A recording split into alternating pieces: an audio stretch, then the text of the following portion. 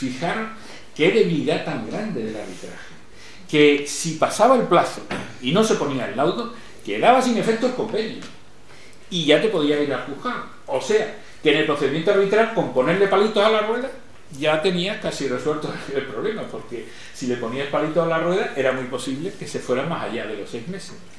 La ley de 2003 pues modifica eh, esto y dice que la expiración de las actuaciones arbitrales no afectará a la eficacia del convenio arbitral y había que empezar otra vez. Se, se pasaban los seis meses, los árbitros perdían la competencia y había que empezar otra vez el arbitraje. Ya no era como antes que quedaba sin efecto el convenio arbitral y te iba a la jurisdicción ordinaria, sino que empezar otra vez.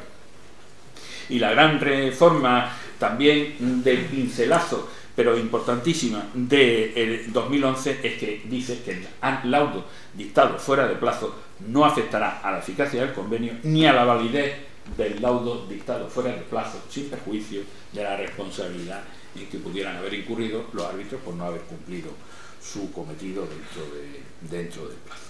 Por tanto, el plazo hay que cumplirlo, pero ya no lleva ese agobio tan tan grande que si no lo cumplías, pues tenías que empezar el arbitraje de nuevo y si estábamos ante el 2003, pues que quedaba nula la cláusula. Yo no voy a decir como Jorge Manrique que cualquier tiempo pasado fue mejor, pero tampoco podemos tirar ni la ley de arbitraje ni el Real Decreto de Consumo derogado. Porque cuando hablan de los requisitos del laudo, la ley del 88 dice que el laudo deberá dictarse por escrito, que expresará al menos las circunstancias personales de los árbitros y de las partes, el lugar en que se dicta, la cuestión sometida a arbitraje, una sucinta relación de las pruebas, las alegaciones de las partes y la decisión arbitral. Por tanto, aunque sea una norma derogada, creo que deberíamos tenerla presente mínimamente como norma inspiradora cuando estemos vayamos a hacer los que vamos a poner el laudo o vayamos a, estar en un procedimiento arbitral, porque la ley de arbitraje en el Real Decreto del 2008 llegan a ese detalle y ahora veremos por qué. Eh, bueno, lo acabamos de decir, ¿no? están ahí retirados pues, eh, los requisitos que ha de cumplir el, el laudo. El Real Decreto de Consumo de 1993 pues decía en su artículo derogado, seguía la ley de arbitraje en su redacción anterior.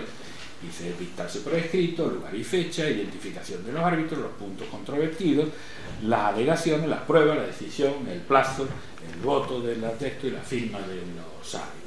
Y sin embargo, la ley del 2003, que como ya hemos dicho, se copia la ley de, la, de un citral de las naciones modelo, pues lo que hace es copiar lo que dice no siempre lo extranjero es lo mejor, a veces nosotros tenemos las cosas mejor hechas. Ya queda que los requisitos del laudo quedan recogidos en el artículo 37 que dice todo laudo deberá constar por escrito y ser firmado por los árbitros que podrán dejar constancia de su voto a favor o en contra. Ya también hemos hablado del voto del presidente, por tanto, que es dirimente, vosotros habéis puesto el ejemplo de cuando que nunca hay que recurrir al presidente porque el, voto del presidente pues es dirimente. Si son tres con el del presidente en la ley de arbitraje con el del presidente basta. Si cada uno no se o sea si no estamos en una decisión binaria de dos cosas sino si hubiera tres cosas con el del presidente en un colegio arbitral de tres con el del presidente basta. Y llegamos al Real Decreto de 2008 que como lo que hace es actualizar, en parte, ¿no? No solamente eso es lo único.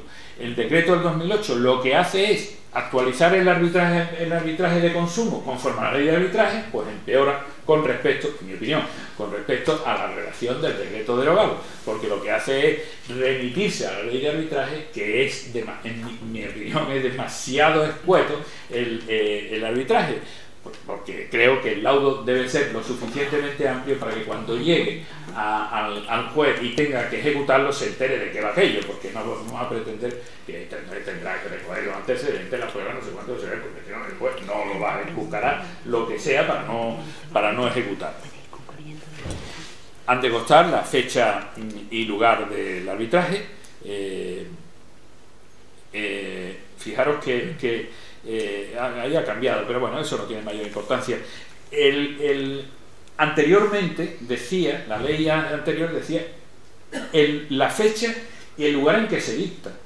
Ya no, no dice el lugar en que se dicta, sino el lugar donde se celebra el arbitraje, para permitir que los árbitros, en el caso de que sea un colegio, o sea, que sea un colegio arbitral, puedan dictar el laudo sin necesidad de estar presente mediante la firma electrónica, conforme dice la ley de arbitraje que lo hacer la cláusula, pues igual puede ser eh, el, arbitraje. Entonces, solamente pone actualmente en la redacción el lugar, el lugar del arbitraje, no el lugar en que se dicta, como, como decía antes. ¿Qué importancia tiene esto? Porque el lugar va a determinar nada, nada más y nada menos que la competencia del juez que deberá ejecutar el laudo.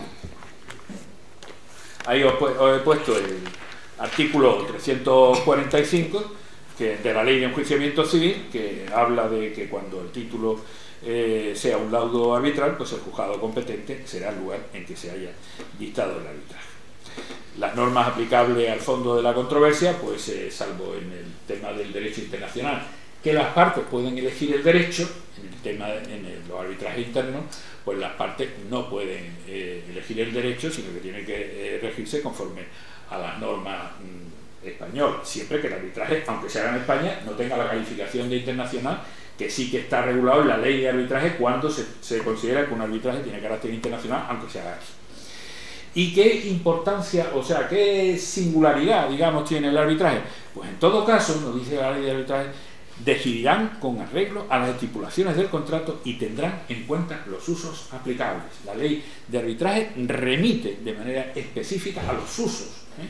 para dar entrada a los, usos mercantiles, los usos que tan importantes son en el tema del arbitraje. Tú me quitas la palabra cuando crees que... dando cinco minutitos de cortesía. Eh, las normas aplicables a, eh, bueno, claro, como el laudo de, consumo eh, restringe el tema, pues solamente son las normas jurídicas aplicables y las estipulaciones de contrato, porque no entra en juego la motivación. Serán motivados, creo que en, la motivación podemos, eh, digamos, transponer aquí nuestros conocimientos generales sobre la motivación de las resoluciones judiciales eh, que no se exige la cita concreta de los conceptos de la doctrina y de la jurisprudencia, que no implica falta de motivación, la brevedad los razonamientos, que la motivación tampoco es combatir uno a uno los argumentos utilizados por otra parte. Por lo tanto, aquí todos nuestros conocimientos respecto a la motivación de la sentencia nos, eh, nos sirven para ver si el laudo está o no motivado. Eh, respecto a la motivación, pues eh, ahí lo tenemos puesto de otra manera, porque ya digamos que lo hemos dicho, ¿no? Garantiza la posibilidad de control, logra la convicción de las partes, a veces, porque el que pierde, no, generalmente no se queda los vencidos. El arbitraje le ocurre casi lo mismo que le ocurre a la justicia, que funciona al 50%. Por muy bien que funcione el arbitraje y la justicia, siempre funcionará al 50%, porque hay uno que pierde y hay otro que gana, y el que pierde dirá, esto es una porquería. De manera que, bueno, pero al, ser arbitrado, por lo menos te da pie a enterarte de que, cuál ha sido el razonamiento de la persona que ha puesto. La congruencia. Fijaros que entre los requisitos, ni siquiera la ley del 88 ni el Real Decreto derogado eh, hablaba de la, de la congruencia, pero paradójicamente es una causa de anulación la falta de congruencia. Dice, el laudo podrá ser anulado cuando los árbitros han resuelto sobre cuestiones no sometidas a su decisión. Debería estar entre los requisitos, pero no está y paradójicamente es una causa. Rige el principio general, que toda decisión de pues, se tiene que ajustar a las pretensiones planteadas. Eh, seguimos un poco no lo saltamos esto, porque vosotros sabéis mejor que yo la congruencia extrapetita, la congruencia, la incongruencia admisiva.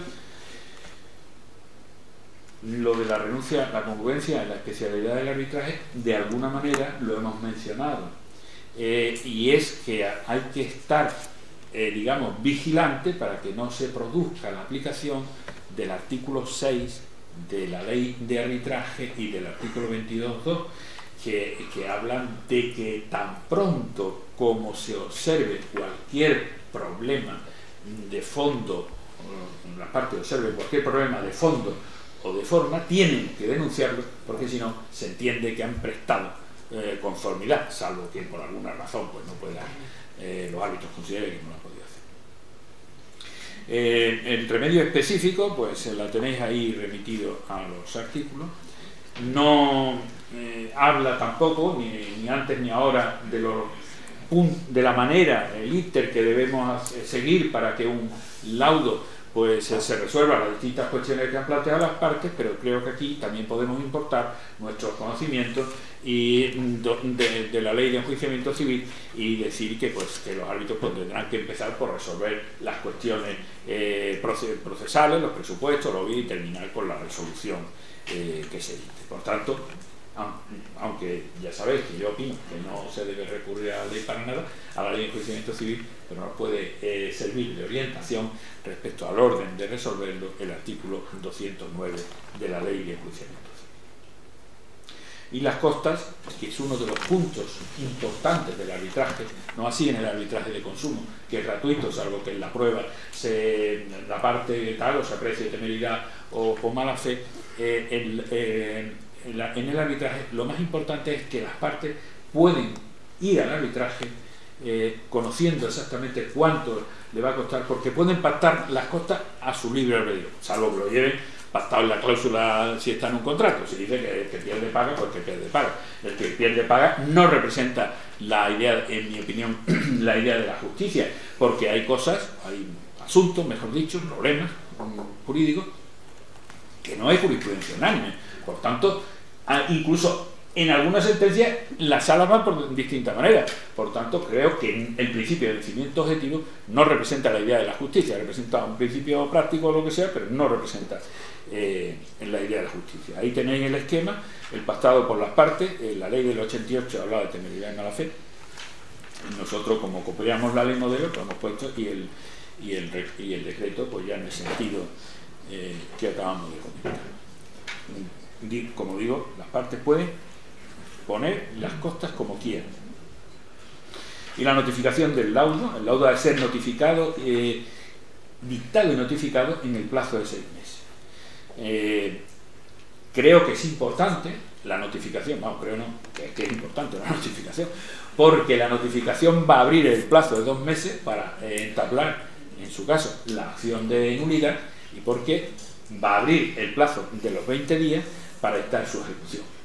Eh, la ley de arbitraje no establece tampoco la forma de notificación, puede ser variada y la ley del Real Decreto pues, se remite a las normas de la ley de procedimiento administrativo. O sea, a mí eso me parece la remisión un poco extraña, ¿no? que podría haber, no sé, bueno, no estoy casi ya fuera de tiempo y no da tiempo.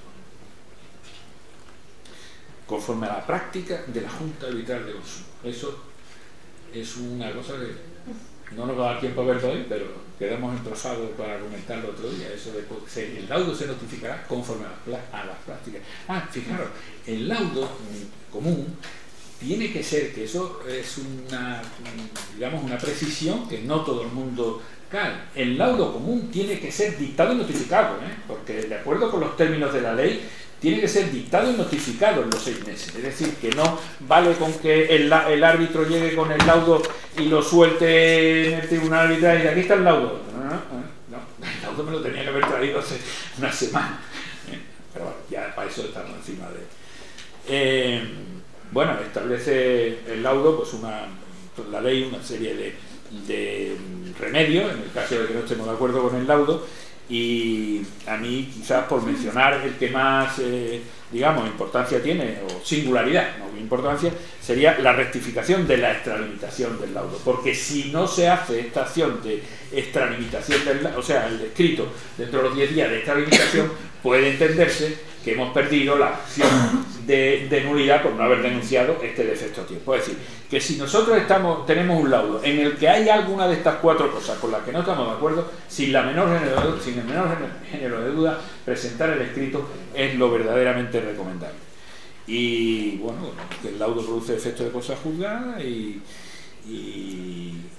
bueno, había, hay aquí una cosa que ya me cae, es que para la ejecución del laudo había, hay que distinguir tres clases de laudo. El laudo común. El laudo común, con presencia de un consumidor, Porque la sentencia del Tribunal de Justicia de la Unión Europea dice, en esta sentencia, le impone al juez que el juez no tiene, el juez no debería más que coger el laudo y ejecutarlo, no, no debería eh, ver si hay algún registro formal, que no esté firmado tal. Sin embargo, esta le insta a, los, a los jueces para actuar de oficio y garantizar la protección del consumidor en la ejecución, con independencia de que el consumidor haya o no instado eh, la acción de nulidad, la de tramitación o la que sea, le impone esto de oficio. Y ya está, ya me callo. Gracias.